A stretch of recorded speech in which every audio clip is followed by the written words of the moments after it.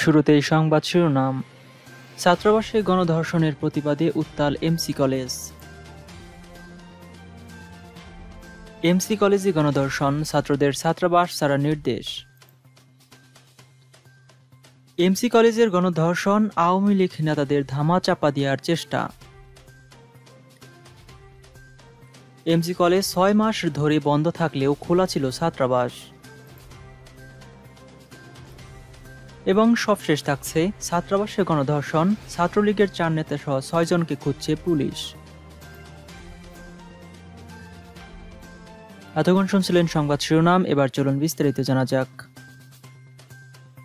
Sylhet MC college ছাত্রাবাসে স্বামীকে আটকে রেখে এক গৃহবধূকে গণধর্ষণের ঘটনায় আন্দোলনে নেমেছে ছাত্রলীগের নেতাকর্মী ও সাধারণ শিক্ষার্থীরা। শনিবার ছাব্বিশে সেপ্টেম্বর দুপুর বারোটার দিকে ঘটনার সঙ্গে জড়িতদের দ্রুত গ্রেফতারের দাবিতে ছাত্রলীগের দুই শতাধিক নেতাকর্মী এবং শিক্ষার্থীরা কলেজের সামনে টায়ারে আগুন জ্বালিয়ে সিলেট তামাবিল মহাসড়ক অবরোধ করে বিক্ষোভ করেন। এ সময় তারা জয় বাংলা, জয় বঙ্গবন্ধু, শেখ হাসিনার বাংলায় ধর্ষকের স্থান নাই, ঘাতক ধর্ষকের ফাঁসি চায় বলে স্লোগান দেন। দুপুর দুইটা পর্যন্ত তারা সড়ক অবরোধ করে বিক্ষোভ করেন। এতে নেতৃত্ব দেন এমসি কলেজের ছাত্রলীগ নেতা দেলোয়ার হোসেন। শিক্ষার্থীরা অভিযোগ করেন, করোনা পরিস্থিতিতে কলেজ বন্ধ থাকার পরও ছাত্রাবাস কীভাবে খোলা রাখে কলেজ কর্তৃপক্ষ? এসব অপরাধ কর্মকাণ্ডের বিষয়ে কলেজ কর্তৃপক্ষ অবগত থাকার পরেও কেন ছাত্রাবাস বন্ধ করে দেওয়া হলো না? আজ ঐতিহ্যবাহী বিদ্যাপীঠে কলঙ্কের দাগ লেগেছে। শিক্ষার্থীরা গণধর্ষণের ঘটনার সঙ্গে জড়িতদের দ্রুত গ্রেফতারের দাবি জানান। এদিকে অপ্রীতিকর ঘটনা এড়াতে এমজি কলেজ এবং ছাত্রাবাসে বিপুল সংখ্যক পুলিশ মোতায়েন করা হয়েছে। গতকাল শুক্রবার সিলেটের এমসি কলেজে স্বামীর সঙ্গে বেড়াতে গিয়ে গণধর্ষণের শিকার হন এই গৃহবধূ। রাত দশটার দিকে টিলাগড় এলাকায় কলেজটির ছাত্রাবাসে এই ঘটনা ঘটে। ওই গৃহবধূকে ক্যাম্পাস থেকে তুলে ছাত্রাবাসে নিয়ে ধর্ষণ করা হয় বলে পুলিশ জানিয়েছে। এই ঘটনায় ভিকটিমের স্বামী বাদী হয়ে নগরীর শাহপরান থানায় মামলা করেন। মামলায় ছাত্রলীগের ছয় নেতাকর্মী এবং অজ্ঞাত তিনজনকে আসামি করা হয়েছে।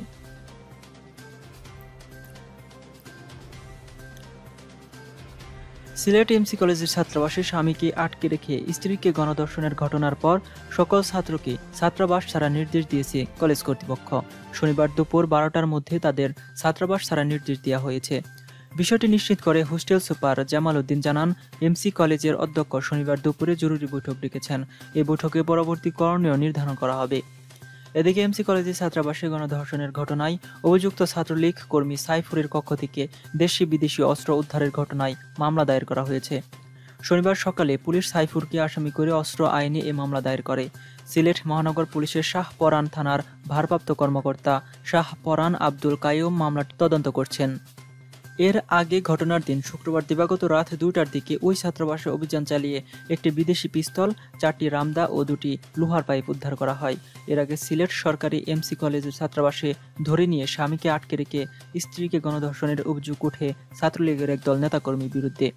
শুক্রবার সন্ধ্যা সাতটার দিকে ঘটনা ঘটলেও খবর পেয়ে রাত সাড়ে দশটার দিকে পুলিশ গিয়ে তাদের উদ্ধার করে নিয়ে আসে। গণধর্ষণের এই ঘটনায় ছাত্রলীগ নেতা সাইফুর রহমান সহ নয়জনকে আসামি করে মামলা দায়ের করা হয়েছে। শনিবার ভোরে শাহপরান থানায় এ মামলা দায়ের করেছেন ভুক্তভোগী ওই নারীর স্বামী। মামলায় ছয়জনের নাম উল্লেখ ছাড়াও অজ্ঞাতনামা তিনজনকে আসামি করা হয়েছে। জানা যায় শুক্রবার বিকেলে ভুক্তভোগী নারী তার স্বামীকে নিয়ে এমসি কলেজে বেড়াতে যান। এক পর্যায়ে সন্ধ্যা সাতটার দিকে স্বামী সিগারেট খাওয়ার জন্য কলেজের গেটের বাইরে বের হন। এ সময় কয়েকজন যুবক তার স্ত্রীকে জোরপূর্বক তুলে নিয়ে যান। এতে স্বামী প্রতিবাদ করলে তাকে মারধর শুরু করেন ছাত্রলীগের কর্মীরা। এক পর্যায়ে স্ত্রী ও তার স্বামীকে ছাত্রলীগের নেতাকর্মীরা এমসি কলেজের ছাত্রাবাসে নিয়ে যান। সেখানে স্বামীকে বেঁধে ছাত্রলীগের আট নয় জন নেতাকর্মী স্ত্রীকে পালাক্রমে ধর্ষণ করেন। এ সময় তাদের সাথে একটি প্রাইভেট কারও ছিনিয়ে নেয় ছাত্রলীগের নেতাকর্মীরা। পরে খবর পেয়ে পুলিশ এসে প্রাইভেট কারটি তাদের জিম্মায় নেয় এবং ভুক্তভোগী নারীকে সিলেট উসমানী মেডিকেল কলেজ হাসপাতালের ওয়ান স্টপ ক্রাইসিস সেন্টারে ওসিসিতে প্রেরণ করেন। প্রাথমিকভাবে অভিযুক্ত ছয়জনকে শনাক্ত করেছে পুলিশ। তারা হলো এমসি কলেজের ছাত্রলীগ নেতা এবং কলেজটিতে ইংরেজি মাস্টার্সে অধ্যয়নরত শাহ মাহবুবুর রহমান রনি, একই শ্রেণীতে অধ্যয়নরত ছাত্রলীগ নেতা মাহফুজুর রহমান মাসুম এমসি কলেজ ছাত্রলীগ নেতা এম সাইফুর রহমান, কলেজ ছাত্রলীগ নেতা অর্জুন এবং বহিরাগত ছাত্রলীগ নেতা রবিউল এবং তারেক।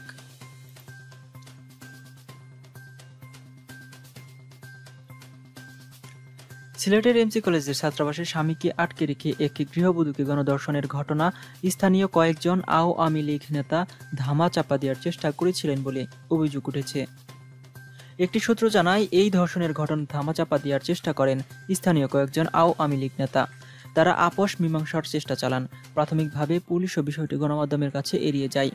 পরে গণমাধ্যম সহ বিভিন্ন মাধ্যমে বিষয়টি জানাজানি হয়ে যাওয়ার পর ধামাচাপা দেওয়ার চেষ্টা বিফলে যায়। তবে দীর্ঘ সময় অপেক্ষার কারণে ঘটনাস্থল থেকে পালিয়ে যেতে সক্ষম হয় অভিযুক্তরা। স্থানীয় সূত্রে জানা যায়, শুক্রবার বিকেলে স্ত্রীকে নিয়ে প্রাইভেট কার করে এমসি কলেজে বেড়াতে যান দক্ষিণ সুরমা এলাকার এক যুবক। বিকেলে এমসি কলেজে ছাত্রলীগের ছয়জন নেতা তাদের ধরে ছাত্রাবাসে নিয়ে আসেন। ওই ছাত্র নেতাদের প্রত্যেকেই ছাত্রাবাসে থাকেন। ছাত্রাবাসে এনে এই দম্পতিকে প্রথমে মারধর করেন, পরে স্ত্রীকে গণধর্ষণ করেন। সন্ধ্যার পর এই খবর পেয়ে টিলাগড় এলাকায় একাধিক আওয়ামী লীগ নেতা এবং কয়েকজন সাবেক ছাত্রলীগ নেতা ঘটনাস্থলে উপস্থিত হন। প্রথমে তারা বিষয়টি ধামাচাপা দেওয়ার চেষ্টা করেন। খবর পেয়ে পুলিশ ঘটনাস্থলে যাওয়ার পর তারা বিষয়টি আপোষের চেষ্টা চালান। এ সময় ধর্ষণের শিকার নারী এবং তার স্বামীকে আপোষ মীমাংসার জন্য চাপ দেওয়া হয় বলেও জানা গেছে।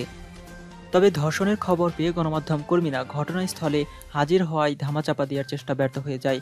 এ সময় আওয়ামী লীগ নেতাদের ঘটনাস্থল থেকে সরে পড়েন। তবে আপোষের চেষ্টার অনেক সময় ক্ষেপণের সুযোগ ঘটনাস্থল থেকে পালিয়ে যেতে সক্ষম হয় অভিযুক্ত ছাত্রলীগ নেতারা। আপোষ মীমাংসার চেষ্টার অভিযোগ অস্বীকার করে সিলেট মহানগরের শাহপরন থানার ওসি কায়ম চৌধুরী জানান এক দম্পতিকে আটকে রাখা হয়েছে খবর পেয়েই আমরা এমসি কলেজের ছাত্রাবাসে যাই। এরপর সেখান থেকে তাদের উদ্ধার করি। পরে ধর্ষণের শিকার হওয়া নারীকে উসমানী হাসপাতালে উসিসি সেন্টারে ভর্তি করা হয়। এই ঘটনায় জড়িতদের গ্রেফতারের চেষ্টা চলছে।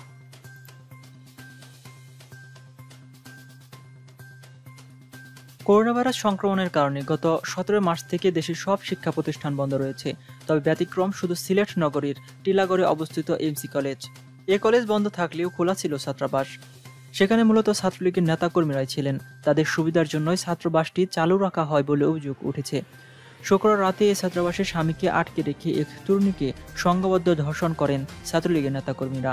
এ ঘটনার পর শনিবার ছাত্রাবাসটি অনির্দিষ্টকালের জন্য বন্ধ ঘোষণা করেন কলেজ কর্তৃপক্ষ। দুপুর বারোটার মধ্যে ছাত্র নেতাদের হল ত্যাগের নির্দেশ দেওয়া হয়। কলেজের সূত্র থেকে জানা গেছে, দীর্ঘদিন ধরেই এমসি কলেজ ছাত্রাবাস ছাত্রলীগের দখলে। ছাত্রলীগের পাশাপাশি অনেক অছাত্রও এখানে আস্থানা করেছেন। ছাত্রাবাসের ভেতরে নিজেদের সাম্রাজ্য গড়ে তুলেছেন কিছু ছাত্রলীগ নেতাকর্মী।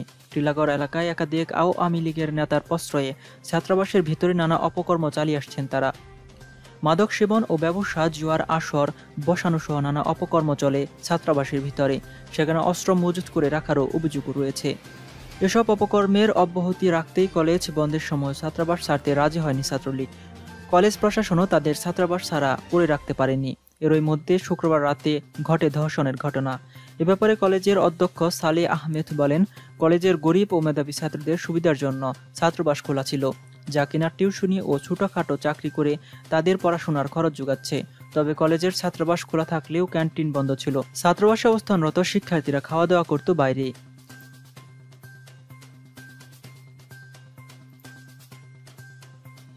সিলেট এমসি কলেজ ছাত্রাবাসে স্বামীকে আটকে রেখে তরুণীকে গণধর্ষণের ঘটনায় ছাত্রলীগের চার নেতা সহ ছয়জনকে খুঁজছে পুলিশ। বারো ঘণ্টা পেরিয়ে গেলেও এখনও কারও হদিশ মেলেনি। তবে গত রাতে ছাত্রাবাসে অভিযান চালিয়ে ছাত্রলীগের সাইফুরের কক্ষ থেকে দেশীয় অস্ত্র উদ্ধার করা হয়। ঘটনায় জড়িতদের দ্রুত গ্রেফতার এবং দৃষ্টান্তমূলক শাস্তির দাবিতে কলেজের সামনে সিলেট তামাবিল সড়ক অবরোধ করে বিক্ষোভ করেছেন শিক্ষার্থীরা। দুই হাজার নয় সালে ছাত্রলীগের এমসি কলেজের কমিটির ঘোষণার পর থেকে কোনো কমিটি হয়নি, কিন্তু ক্যাম্পাস নিয়ন্ত্রণ করছেন ছাত্রলীগের দুটি গ্রুপ। পথ পদবি ছাড়াও এক একজন ক্যাডারে পরিণত হয়ে চাঁদাবাজি, খুন, গুম রাহাজান এবং সর্বশেষ শুক্রবারে ক্যাম্পাসে বেড়াতে আসা এক তরুণীকে তুলে নিয়ে ছাত্রাবাসে গণধর্ষণ করে। ওই ঘটনার পর পুলিশ ছাত্রলীগের সাইফুর রহমানের কক্ষে তল্লাশি চালিয়ে পাইপ গার সহ দেশীয় অস্ত্র উদ্ধার করে। গণধর্ষণের ঘটনায় সাইফুর রহমানকে প্রধান আসামি করে রবিউল তারেক আহমেদ, শাহ রনি, মাহফুজুর রহমান মাসুম, অর্জুন লস্কর সহ আরও অজ্ঞাত তিনজনের বিরুদ্ধে মামলা দায়ের করেছে নির্যাতিতার স্বামী। এস এমপি শাহপরান থানা ওসি আব্দুল কায়ম চৌধুরী বলেন নির্যাতিতার স্বামী মামলা করেছে, দোষীদের গ্রেফতারের চেষ্টাও চলছে। ধর্ষকের ছাত্রত্ব বাতিল সহ গ্রেফতারের দাবিতে শিক্ষার্থীরা বিক্ষোভ প্রদর্শন এবং সড়ক অবরোধ করে।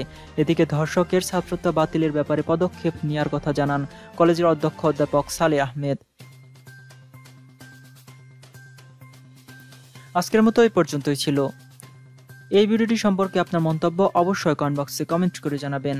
এবং এ বিষয়ে আরও নিউজ পেতে আমাদের চ্যানেলটি সাবস্ক্রাইব করে পাশে থাকা বেল আইকনটিতে ক্লিক করে রাখুন। এতক্ষণ সাথে থাকার জন্য ধন্যবাদ সবাইকে।